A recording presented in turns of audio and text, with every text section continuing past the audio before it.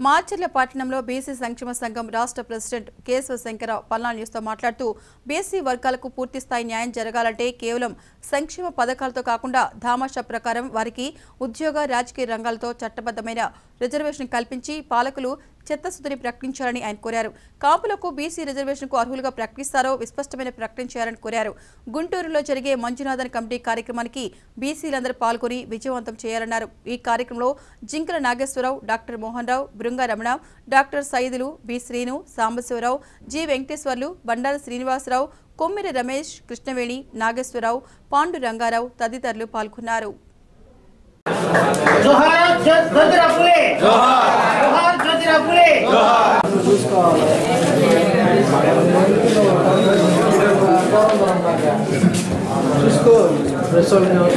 వచ్చిన తర్వాత ఈ రోజు వరకు కూడా బీసీలు అసెంబ్లీకి పోయినటువంటి బీసీలు ఎన్నో కులాలు మనకు ఉన్నాయి.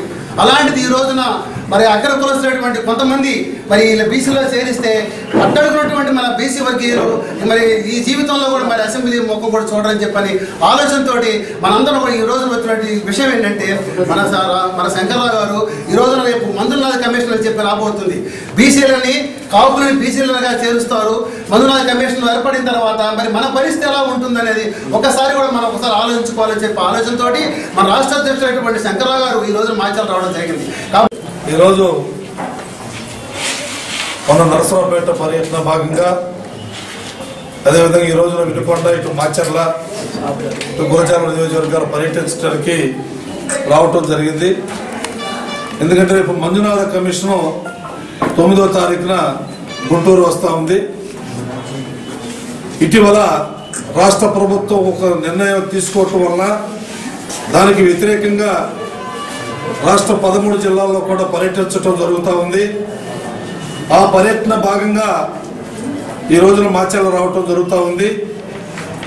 కాపు సామాజిక వర్గాన్ని బీసీలో చేర్చాలన్నటువంటి నిర్ణయం తీసుకున్న తర్వాత పదమూడు జిల్లాల్లో కూడా అనేక రకమైన ఉద్యమాలు చేస్తూ కలెక్టరేట్లు ముట్టడి కార్యక్రమం కానీ ఒకరోజు రుణ నిరాహార దీక్షలు కానీ ఇంకో రోజు ధర్నాలు కానీ రాస్తా రోకోలు కానీ బీసీ సంక్షేమ సంఘం ఆధ్వర్యంలో జాతీయ అధ్యక్షుడు ఆర్ కృష్ణ గారి యొక్క పిలుపు మేరకు మరి ఈ రాష్ట్ర అధ్యక్షుడిగా నేను పదమూడవ జిల్లాల్లో కూడా తిరుగుతూ మరి మంజునాథ కమిషను ఏ ఒక్క ఉద్దేశంతో ఈ రాష్ట్రంలో ఏర్పడిందని చెప్పాను మేము గతంలో కూడా అనేక సందర్భాలు అడగటం జరిగింది. ముఖ్యమంత్రి గారేమో కాపుల్ని బీసీలో చేర్చే కమిటీ అని వారు చెప్తా ఉన్నారు. మరి మంజునాథ కమిషన్ ఏమో మేము బీసీని వారి యొక్క జీవన స్థితిగతులను అధ్యయనం చేయటానికి ఈ కమిటీ రావటం జరిగిందని చెప్పని వారు చెప్తా ఉన్నారు. రాష్ట్రం అంతా అయోమయ పరిస్థితిలో ఉన్నటువంటి ఈ సందర్భంలో మేము రాష్ట్ర ప్రభుత్వానికి అటు కేంద్ర ప్రభుత్వానికి మేము ఒకటే చెప్తా ఉన్నాం. అయ్యా బీసీలో ఉన్నటువంటి కులాల యొక్క గణాంకాలు తీయండి. ఆ తీస్తే మా యొక్క జనాభా నిష్పత్తి ఎంతో మాకు తెలిసిపోద్ది.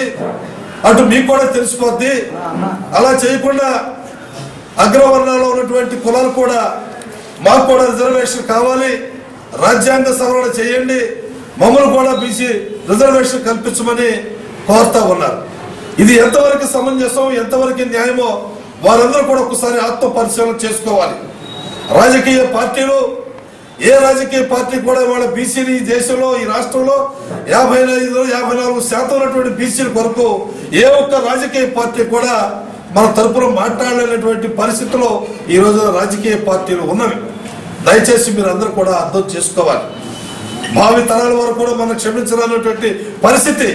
ఇవాళ ఈ యొక్క ప్రభుత్వాలు ఈ యొక్క రాజకీయ పార్టీలు ఎన్నికలకు ముందు అందరూ కూడా మాది బీసీ పార్టీ బీసీ పార్టీని చెప్పుకుంటూ కేవలంగా ఎన్నికల అనంతరం బీసీలందరూ కూడా మరి అడగదొక్కే విధంగా ఈ యొక్క కార్యాచరణ పూనుకున్నటువంటి పరిస్థితిని మీ అందరూ కూడా మేము తెలియజేస్తా ఉన్నాం సోదరులారా.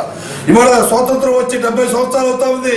ఇంతవరకు బీసీలకి ఎక్కడ వేసినటువంటి గొంగడి అక్కడే ఉంది. ఈ రోజుకి ఏ రకమైన అభివృద్ధి ఫలాలు అందకపోవటం చాలా దుర్మార్గపోయినటువంటి విషయం. ఎస్సీలు వచ్చి బీసీలు కలవాలన్నా ఎస్సీలో కలవాలన్నా దానికి కొన్ని ఈ విధి విధానాలు ఉంటాయి కొన్ని పారామీటర్స్ ఉంటాయి. ఎవరైతే ఏ విధంగా మరి సంచార జాతులుగా మనం అందరూ కూడా ఆ రోజున గుర్తింపు పొందాం. భారత రాజ్యాంగం డాక్టర్ బిఆర్ అంబేద్కర్ గారు మనకి ఆ రోజున న్యాయశాఖ మంత్రిగా ఉండి పార్లమెంట్లో మనకి ఈ రిజర్వేషన్ సౌకర్యం కల్పించారు. ఎందుకంటే ఆ రోజున మరి కళ్ళు గీసుకునే వారు కానీ గొర్రెల కాపర్లు కానీ చాకలు కానీ మంగళ్ళు కానీ కుమ్మరి కానీ కమ్మరి కానీ మరి దూదేకులు కానీ మరి బుడసంగాలు కానీ చాలా కులాలు ఉన్నాయి. ఇవన్నీ కూడా ఏంటంటే సంచార జాతుల్లో జీవించే కులాలు కాబట్టి ఆ రోజున మరి వీరందరూ కూడా ఆ రోజున ఒక రిజర్వేషన్ ఫలాలు అందాలనేటువంటి అంటే విద్యలో లేదు ఆర్థికంగా లేదు విద్యాపరంగా లేదు రాజకీయ పరంగా లేదు ఏ పరంగా లేనటువంటి సంచార జాతులు అంటే కొండల్లో పొట్టల్లో చెట్టల్లో పుట్టల్లో రాళ్ళ రప్పల్లో జీవించి జీవించేటువంటి ఈ యొక్క కులాల్ని ఐడెంటిఫై చేసి ఆ రోజున భారత రాష్ట్ర బిఆర్ అంబేద్కర్ గారి యొక్క ఆలోచన విధానానికి అనుగుణంగా రిజర్వేషన్ కల్పించండి. ఇంట్లో మరి మంజునాథ కమిషన్ వస్తా ఉంది. ఏమని? ఇక్కడ ఉన్నటువంటి కులాల యొక్క స్థితిగతులన్నీ కూడా అధ్యయనం చేయాలి. అదేవిధంగా క్షేత్రస్థాయి పర్యటన కూడా రావాలి. ఆ రోజున మన యొక్క వాదన కూడా మనం వినిపిస్తారు అక్కడికి వచ్చి? మిగతా వాళ్ళు భయపడతారు. డెఫినెట్గా మనకి విలువిస్తారు. ఆ ఉన్నత శిఖరాలకి మన బీసీలంతా కూడా చేరాలని మనకు